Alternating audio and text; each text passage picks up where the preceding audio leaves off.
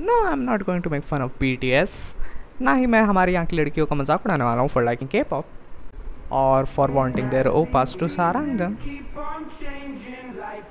Of course, that's very normal behavior.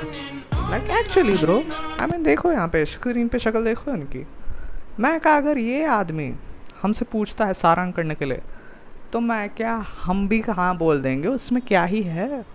हम भी ज़िंदगी के थोड़े मज़े लें।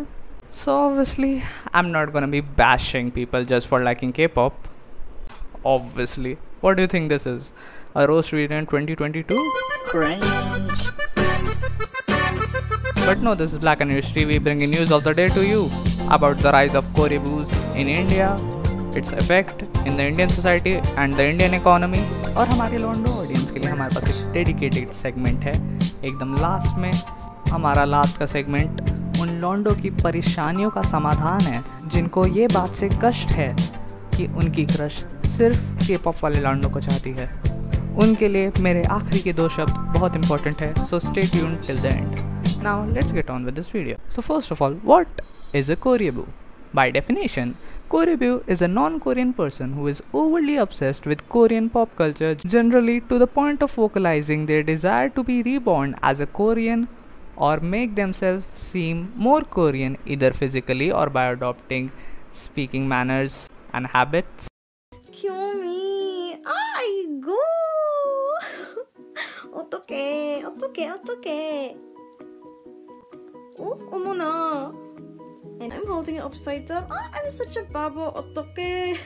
That is the definition of a koreaboo मेरे को पता है मेरे को पता है काफ़ी लोगों ने ऐसे लोग तो देखे ही होंगे यू नो ये वही लोग हैं जिनकी इंस्टाग्राम प्रोफ़ाइल में एक बीटीएस की फ़ोटो होती है, नीचे कुछ कोरियन में लिखा होता है इंस्टाग्राम बायो पे।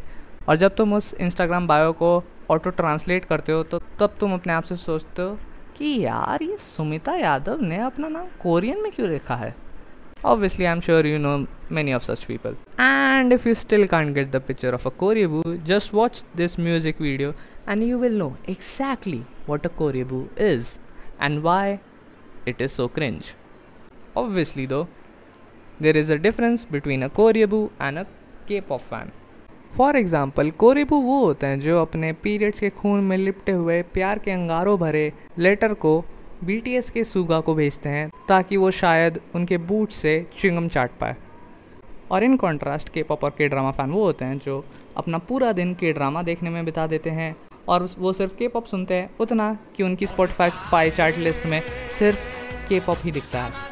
Honestly in my personal opinion though मेरे को लगता है कि इंडिया में कोरेबू ज़्यादा है वर्सेस द नॉर्मल कोरे Korean drama and pop style fans क्योंकि let's be honest that is something we as Indian suck at at fan boying और fan girling I don't know I am feminist okay back to my point anyway हम Indian people fan Boeing में बहुत ही बकवास हैं। हमको अगर कोई चीज़ पसंद आती है तो हम उसको अप्रिशिएट नहीं करते, हम उसको वर्शिप करते हैं। इसीलिए तो डेडिकेटेड फैंस इंडिया में फैंस नहीं है, वो भक्त हैं। चाहे वो किसी भी चीज़ के हो जाए, चाहे वो लिबरल वालों के हो जाए, चाहे वो मोदी के हो जाए, चाहे वो आईपीएल के हो जाए, चाहे वो विराट कोहली के हो जाए का फ़ैन बेस भी हो जाए, कोई भी हो इंडिया में हर चीज़ के लिए एक डेडिकेटेड भक्त ग्रुप तो होता ही है। और ऐसे ही चलते हुए के पॉप फैंस और के ड्रामा फैंस के लिए भी एक डेडिकेटेड कोरी बूज ग्रुप भी है। और यही बात हमको हमारे नेक्स्ट सेगमेंट में लेके चलती है कि what is the effect of the rising popularity of K drama and K pop in the Indian society और मैं आपको यहाँ पे ये बताने आया हूँ कि के पॉप और के ड्रामा का इफ़ेक्ट इंडिया में इतना ज़्यादा कुछ नहीं है। इंडियन सोसाइटी इंडियन इकोनॉमी बहुत बड़ी चीज़ है। I mean come on K pop popular हो रहा है तो किसी का क्या जा रहा है? इंडियन सोसाइटी तो सेम ही रहेगी। और अगर कुछ लोगों को कोरिया जाना है तो ये तो ज़्यादा अच्छी बात है। हमारे यहाँ पे ज़्यादा ही पॉपुलेशन हो रखी है। लोगों को बाहर जाना चाहिए हमारे यहाँ से। अगर लोगों को किसी और कल्चर को एम्ब्रेस करने का मन कर रहा है तो ये काफ़ी अच्छी बात है।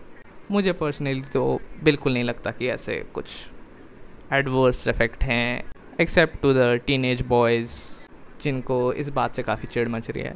एक्चुअली यू नो वर्ड मेरे को लग रहा है मैं फालतू का सेग्रीगेशन कर रहा हूँ। ऐसा नहीं है कि सिर्फ़ लड़कियाँ ही के को चाहती हैं। हमारे यहाँ पे काफ़ी लड़के भी हैं जिनको के पॉप बहुत पसंद है। So let me just throw this out there हाँ हमारे यहाँ पे काफ़ी लड़के भी हैं जिनको जंकुक का डिक चाटना है। हो सकता है। There are certain boys who love K-pop as much as girls or even more. But anyways, here's the last segment of the day. हमारे यहाँ के लड़के क्या कर सकते हैं? वो लड़के जो इस बात से पीड़ित हैं कि वो अपनी क्रश को इम्प्रेस नहीं कर पा रहे क्योंकि उनकी क्रश को सिर्फ़ के पॉप लौंडे चाहिए। तो मैं उनको सिर्फ़ ये कहना चाहता हूँ कि people don't ever lose hope because bitch is be getting desperate after watching all that K drama love shit तो तुमको क्या लगता है? अगर वो के पॉप के पीछे पागल है तो उनको कोई के पॉप को मिल जाएगा? नहीं नहीं है यहाँ पे कोई इंडिया में कोई जंक कुक वगैरह नहीं है। उनको नहीं मिलेगा वो कभी जा भी नहीं सकते। आधी लड़कियाँ तो कोरिया भी नहीं जा सकती कभी। So people don't lose hope and keep trying समुद्र की लहर तुम्हारी तरफ़ तुम्हारा प्यार लेके आ ही जाएँगी क्योंकि लड़कियाँ समुद्र के पार नहीं जा सकती। Let's be honest So keep trying my Melonda audience. And also to my Nepalis and Northeastern brothers out there, your time has come, be brothers. किस चीज़ का इंतज़ार कर रहे हो तुम झल कपट का इस्तेमाल करो सीज द अपॉर्चुनिटी यही तो टाइम है स्टाइल बदलो थोड़ा और दुनिया तुम्हारी मुट्ठी में है यहाँ पे Anyways, that's it for today's news. Hopefully, I'll see you again. Like, share, and comment, and stay subscribed to Black and News TV to get daily news reports.